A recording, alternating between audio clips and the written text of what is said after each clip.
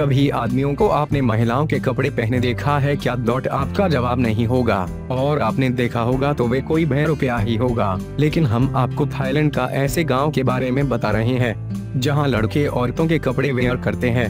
Thailand के नाखून फेनम प्रांत के एक गाँव में मर्द औरतों के कपड़े पहनते हैं। जिसकी वजह भी बहुत अजीब बताई जा रही है। जानकारी के अनुसार इस गाँव के लोग एक विधवा के भूत से डरे हुए हैं। इसलिए इस गाँव के लोगों ने औरतों के कपड़े पहनना शुरू कर दिए हैं। बता दें कि पिछले दिनों इस गाँव में पाँच लोगों की नींद में मौत हो गई थी। गाँव वालों ने इन लोगों की मौत के लिए एक विधवा के भूत को जिम्मेदार मानना था। ग्रामीणों का मानना है कि विधवा का भूत गाँव के पुरुषों और युवकों को शिकार बना रहा है। गाँव की औरतों ने अपने पतियों और बेटों को बचाने के लिए उन्हें औरतों के कपड़े पहनाना शुरू कर दिया। उनका मानना है कि ऐसा करने से विधवा के भूत को लगेगा कि गाँव में औरतें ही औरतें हैं। इस तरह भूत गाँव से भाग जाएगा।